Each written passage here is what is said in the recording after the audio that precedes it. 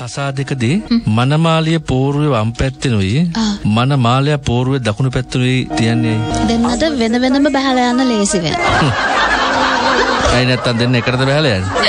කොහෙද වෙන වෙනම බහැලා යන්නේ? දෙන්න ඉස්සරහින් එකට බහැලා යන්නේ පෝරුවෙන් බහැලා යන්නේ. නගිනකොට. ඔව් නගිනකොට මොකද එතකොට දෙපැත්තෙන්නේ හරි දෙපැත්තෙන් තමයි නගින්නේ හරි සෙපරේට් එන්ට්‍රන්ස් දීලා තියෙනවා. හරි එතකොට මං අහන්නේ මේ පැත්ත මාරු කරන්න තු ඇයි හරියටම මනමාලිය වම් පැත්තෙනුයි මනමාලය දකුණු පැත්තෙනුයිම තියන්නේ දෙක මාරු කරන් තිබ්බනේ පෝරුව හදනකොට එහෙමනේ ලේසි හදන්න.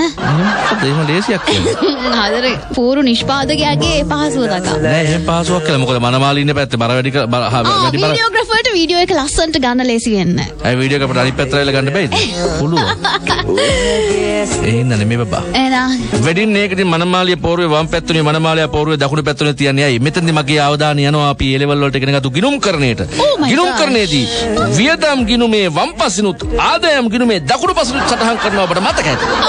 තමයි ඒක.